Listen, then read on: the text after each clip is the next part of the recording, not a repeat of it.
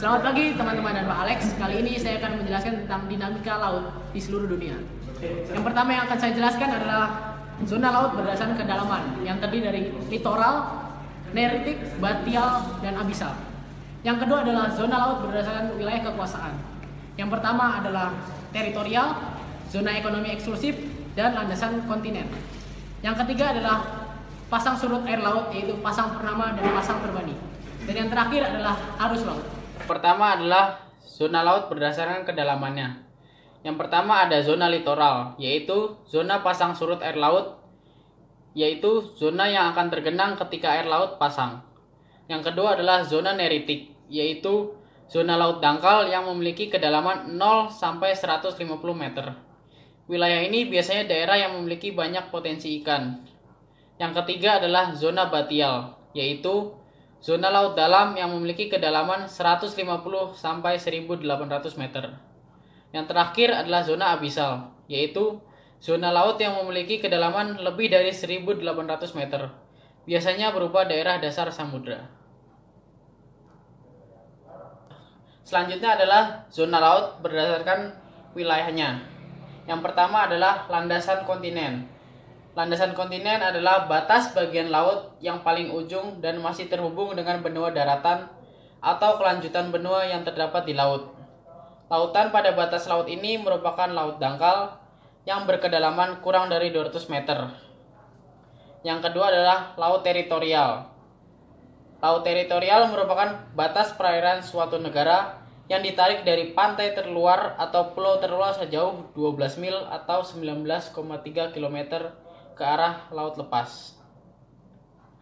Yang ketiga adalah zona ekonomi eksklusif. Zona ekonomi eksklusif merupakan kawasan yang berjarak 200 mil dari pulau terluar suatu negara. Pada kawasan ini, suatu negara berhak untuk mengambil dan memanfaatkan segala potensi sumber daya alam yang ada. Selanjutnya adalah pasang surut air laut. Pasang surut air laut terdiri atas dua, yaitu pasang laut purnama dan pasang laut perbani. Pasang laut purnama atau spring tide terjadi ketika bumi, bulan, dan matahari berada dalam suatu garis lurus.